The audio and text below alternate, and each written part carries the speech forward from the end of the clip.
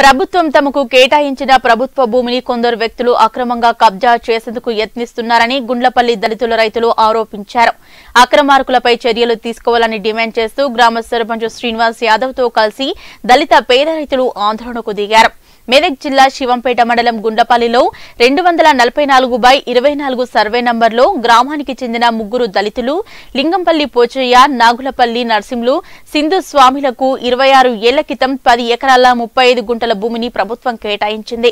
ఆ భూమిలో సాగు చేసుకుంటూ వారు జీవనం సాగిస్తున్నారు. కాగా అట్టి భూమిలో కొందరు వ్యక్తులు అక్రమంగా ప్రవేశించి జేసీపీ యంత్రాలతో భూమిని చదును చేస్తూ అక్రమాలకు పాల్పడుతున్నారని సర్పంచ్ శ్రీనివాస్ యాదవ్తో కలిసి భూమిలో ఆందోళన చేశారు. ఈ సందర్భంగా మాజీ సర్పంచ్ శివయ్య రైతులు మాట్లాడుతూ కొందరు రియల్ ఎస్టేట్ వ్యాపారులు దొంతి గ్రామానికి చెందిన పట్టా భూమి అంటూ గుండ్లపల్లి ప్రభుత్వంలోకి దౌర్జన్యంగా వస్తూ కబ్జా చేయడమే కాకుండా భయభ్రాంతులకు గురి చేస్తున్నారని తెలిపారు. ఈ కార్యక్రమంలో సర్పంచ్ పెంచల శ్రీనివాస్ యాదవ్ మాజీ సర్పంచ్ కిష్టయ్య రైతులు పోచయ్య నర్సింహులు స్వామి తదితరులు పాల్గొన్నారు.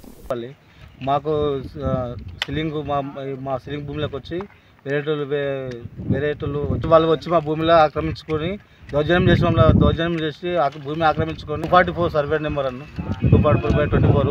Survey survey నెంబర్లో భూమి ఆక్రమించుకొని ఎంతమందికి ఇచ్చారు మీకు? నలుగురి కళ్ళంలోకి ఇచ్చారన్న ఇది జెస్సీ ఇటాచి పెట్టి ఇది భూమిని అంతా సాగు చేసుకుంటాం మాకు అన్యాయం చేస్తారు. మాకు న్యాయం కావాలని మేము కోరుకుంటున్నాం. రెండు వందల నలభై నాలుగు బై ట్వంటీ ఫోర్ సర్వే నంబర్లో ముగ్గురు దళితులకు ముగ్గురు దళితులకు సిల్లింగ్ ల్యాండ్ ఇచ్చారు ఆ సిల్లింగ్ ల్యాండ్లో రియల్ ఎస్టేట్ వ్యాపారులు కబ్జా పెట్టి మొత్తం ఒక వారం రోజుల నుంచి బండ్లు ఆపకుండా మొత్తం నాన్ స్టాప్ వర్క్ చేస్తారు ఆపమంటే రిటర్న్ మరవడుతున్నారు మా మీకు. ప్రెస్ వాళ్ళని విరిపిస్తే అప్పుడు ఆపిరు మా భూములు మాకే కావాలి. ఇది ఈ సర్వే అయిన తర్వాత గవర్నమెంట్ సర్వే అయిన తర్వాతనే ఇండ్లకు బండ్లు నడవాలని కోరుకుంటున్నాము. ఈ మన ప్రైవేట్ సర్వే వాళ్ళని తీసుకొచ్చి ఇంతవరకు సర్వే అయిందని చెప్పేసి వాళ్ళు మా భూముల కిందికి మొత్తం ఇంకా ఉన్న పంట పొలాన్ని కూడా నాశనం చేస్తారు కిందికి వచ్చి రైతులు బోల్రిచ్చి. మీరే గవర్నమెంట్ వాళ్ళు ఆదుకోవాలని కోరుకుంటున్నాను న్యూస్ ముగించే ముందు